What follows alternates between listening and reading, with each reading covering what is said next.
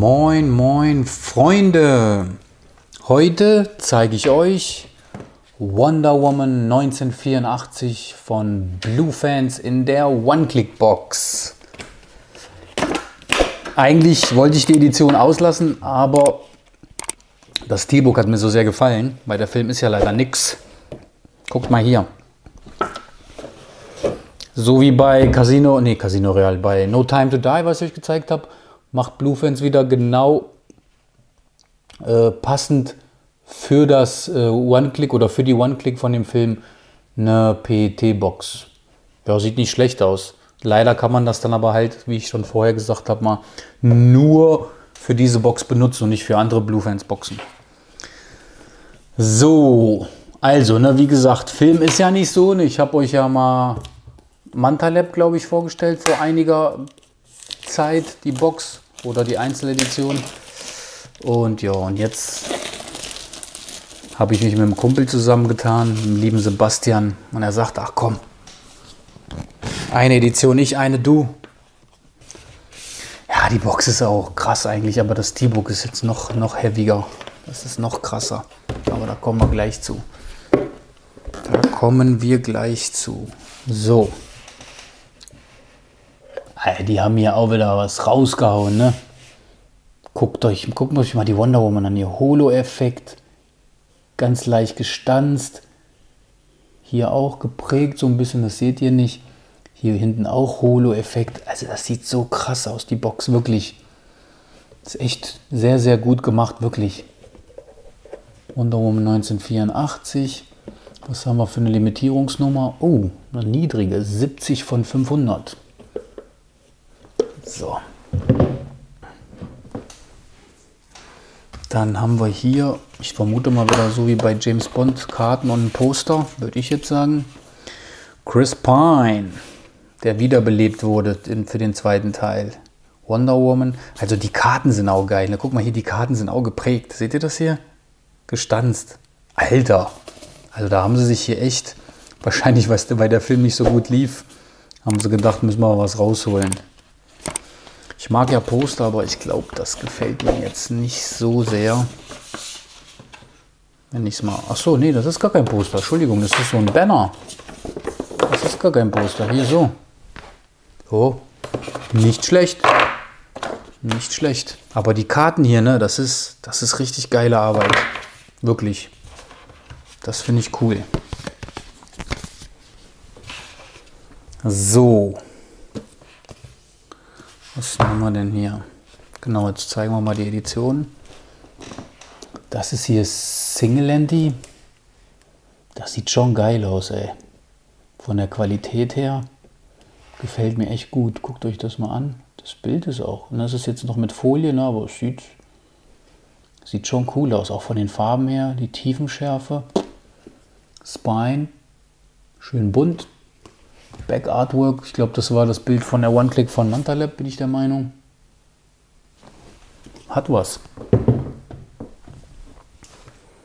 Dann haben wir hier, das ist auf Fett, Double Lenti. Die Frau ist der Hammer, ey. Sieht auch gut aus, ne? Auch ein, ein schöner Lenti-Effekt.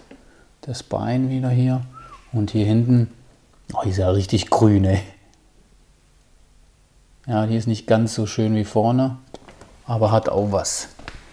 So, kommt dahin.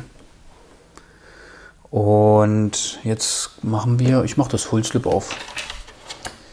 Ich mache wieder das Full Slip auf, Freunde. Wie ich es immer eigentlich mache.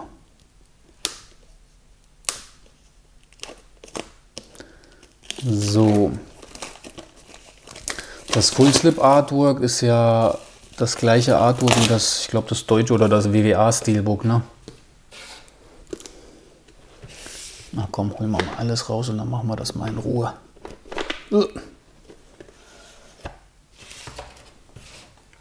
So. Hier ist natürlich jede Menge Prägung hier, ihr kompletter Anzug, ne, das sieht man hier. Ist schon geil gemacht. 1984 oder WW84 auch. Und hier sogar, das ist auch leicht geprägt. Also eigentlich eine sehr gute Arbeit von Blue Fans, muss ich schon sagen. Nur den Film macht es leider halt nicht viel, viel besser. Ne? Ich hoffe, es kommt Teil 3 und er wird ein bisschen besser. Ich hoffe. So.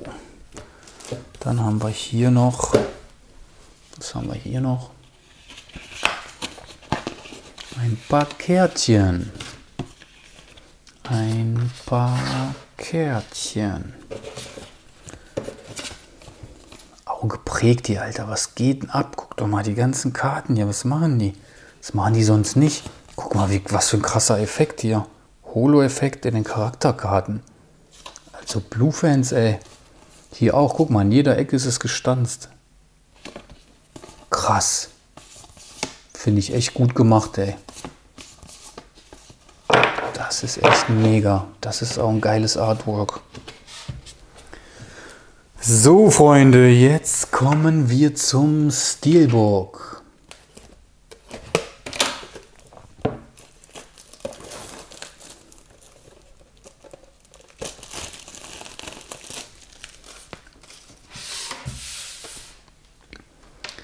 Tada! Artwork gefällt mir. Gefällt mir echt. Hochglanz und natürlich, was ich liebe, Rahmenprägung. Und hier Wonder Woman 1984.